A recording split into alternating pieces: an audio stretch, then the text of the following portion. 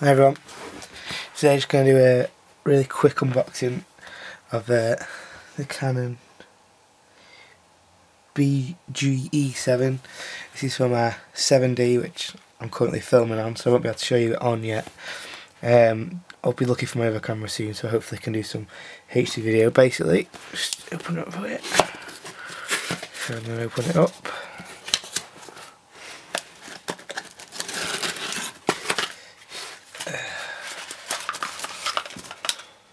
Box.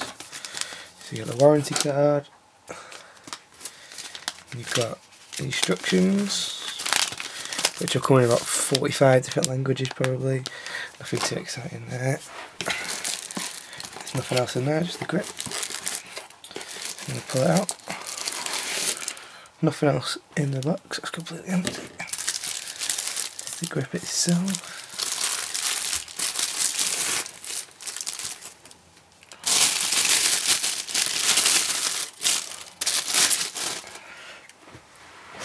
And there it is.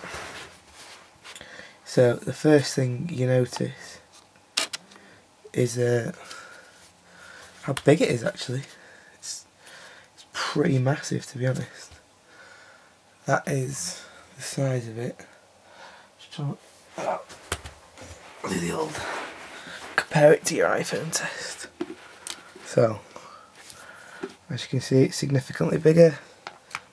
Not far off the width of the bottom wider at the bottom but definitely feels very comfortable on and off. Got the scroll wheel. It feels very good actually. So you shutter button when you're focused things like that. That's obviously to screw it in real quick. So you see if this this put ah so if we look closely. Focus in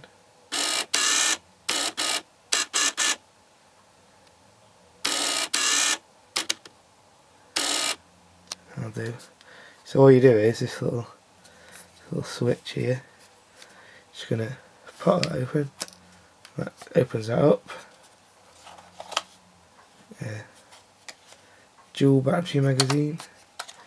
You just flip that out. So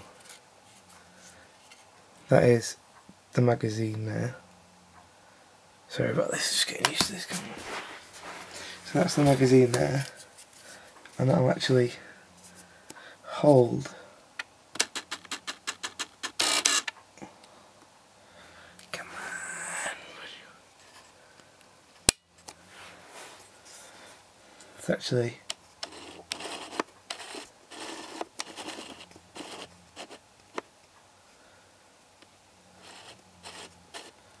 switch back to off. So that actually just goes in here. So that'll either slide in as so, he says.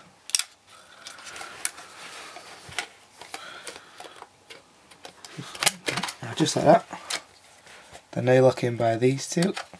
This pops out and then you can put six looks like triple A's possibly. So that's actually on the other side. That's pretty handy that. That's pretty neat. Or you could just have one battery in, both in, etc. Then they'll just close up like that.